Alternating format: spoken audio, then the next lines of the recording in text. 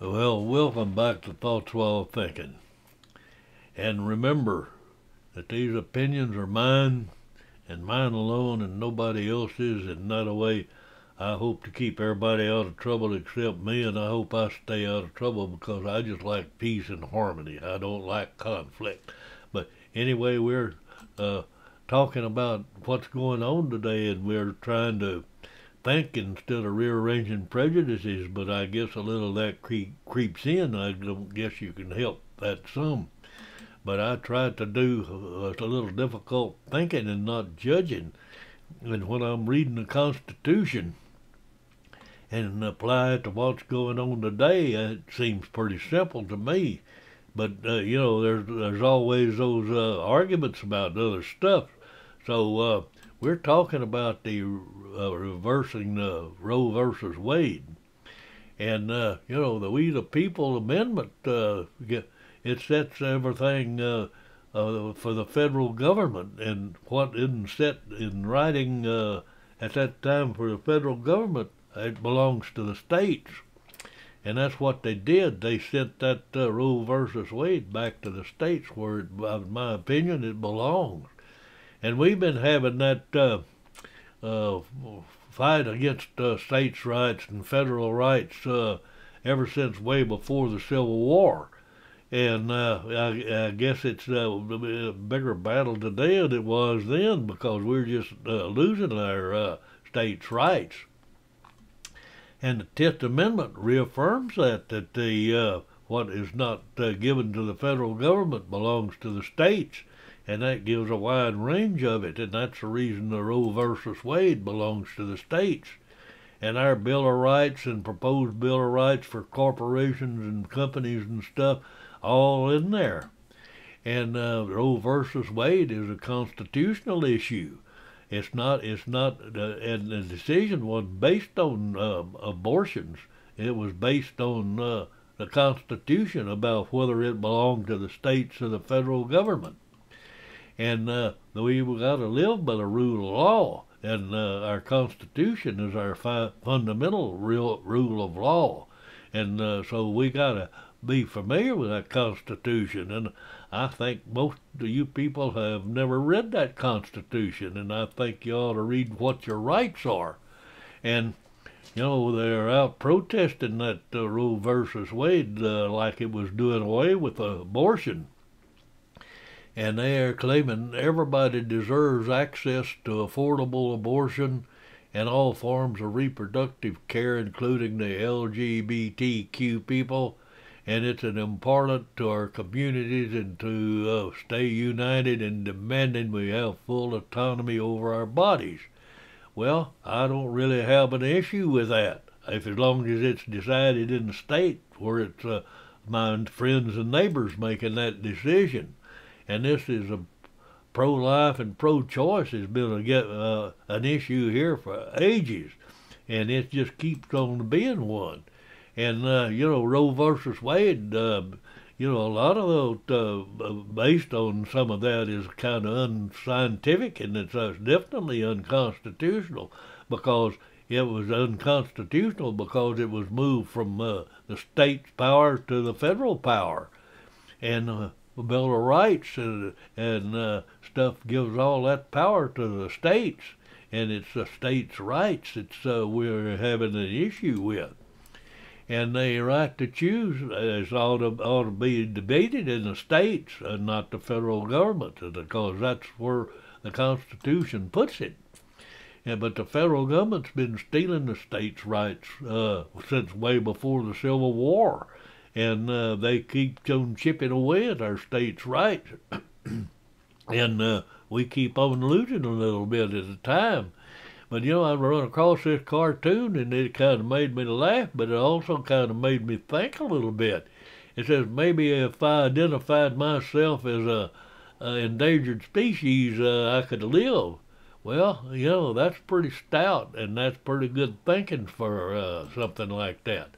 And you know, uh, and that brings up that if they, can find that uh, bacteria in, uh, on Mars being considered life and not uh, heartbeat considered life in uh, uh, the United States, that's pretty weird, and we got to think about that. And you know, I think that if you hear a heart beating, you got life, whether it's in a embryo or whether it's in a 99 year old person. If his heart beating, he's alive. And if it's not beating, he's dead, and there ain't no life there. So that's that's where I'm looking at that, and I think uh, I think I, I got that uh, pretty nailed down. But I guess you can parse some words around that and uh, argue with it. And when they uh, overruled that Roe versus Wade, they didn't uh, do away with abortions like they're claiming in the news media and stuff. They just moved it to the states. And uh, you know, our Bill of Rights gives uh, states the authority for that, and that's where it ought to be. And uh, we ha- we uh, have the states' rights, and uh, uh, you know the American uh, principles are all involved in that, in the pursuit of happiness, and uh, our right to be free and to think, and uh, and the right to have the local people make these decisions. And the Roe versus Wade's when they sent it to Washington from the states, uh, that was a, a, violation of the Constitution as I read it. And the Bill of Rights support it the way I read it, I guess. I think I understand all that. And, uh, you know, they've been pro-life and uh, pro-choice for ages, and uh, they just keep on hammering about it. And they uh, all got their own right uh, voices, and they all parsing all the words. And uh, you know, as long as it's a, a states' rights issue, and as long as the states uh, approve of whatever it is, uh, abortion, uh, uh, however they want to have the abortion law, I don't have an argument with it. The only argument I have is when they move it to Washington and not here locally.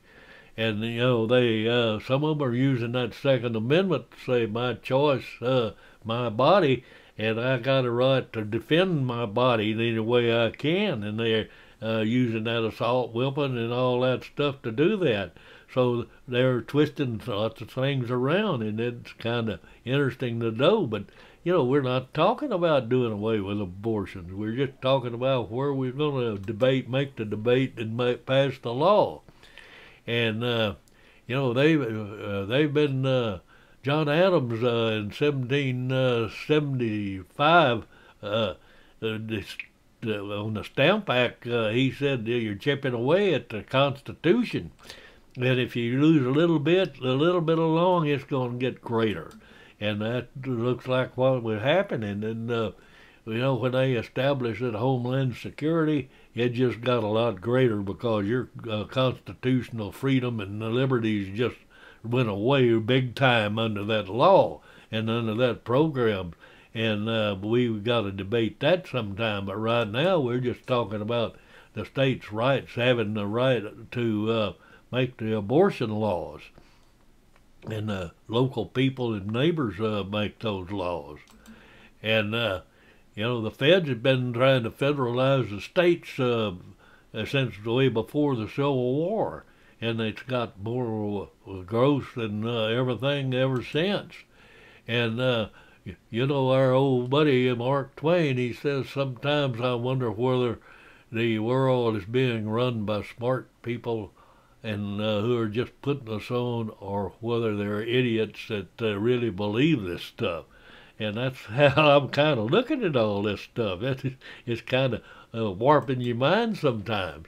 And uh, we got this old uh, uh, magic uh, revolving door, and uh, we what it is, you take a lot of money and you uh, pay a lobbyist a lot of money to get your corporation and uh, stuff uh, way you want it, and the bills passed to support it, and, take a uh, we're working people's money and putting it up there like uh, you know Amazon and uh, uh, Bill Gates and uh, George Soros and that bunch and uh, uh Zuckerberg and uh, all those guys, and then they uh, pass those laws, and then uh, after they re- the congressmen or the senators retire, they go to work for that corporation as an advisor and just draw big money down, and that's the way that circle works, and that's my think thoughts while thinking and maybe rearranging some prejudices, but that's adios amigo, and we'll see you on the flip side.